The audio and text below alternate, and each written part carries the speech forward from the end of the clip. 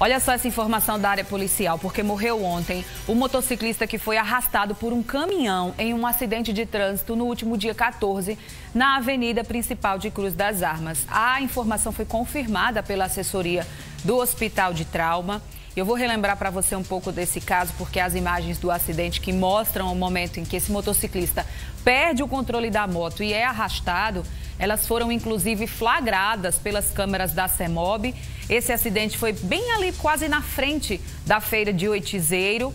E no dia, a informação principal que tinha circulado é de que ele nem teria sido, na verdade, arrastado, nem teria sido completamente aí atropelado pelo caminhão.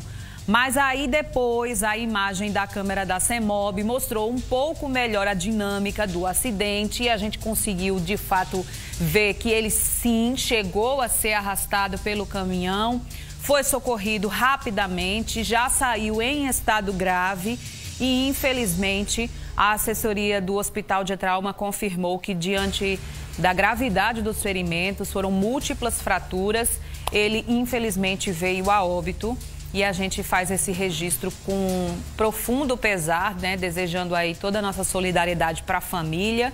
Mas fica aqui o alerta, principalmente para você que é motociclista. Tá começando o dia, a gente está aí saindo de casa para trabalhar daqui a pouquinho. É um corre-corre tremendo, tem tempo para entregar a encomenda. Quanto mais entrega você fizer, você vai ganhar. Mas pelo amor de Deus, a sua vida é o seu bem mais precioso, tá? Atenção no trânsito, por favor, é o recado que a gente deixa para começar esse dia, infelizmente.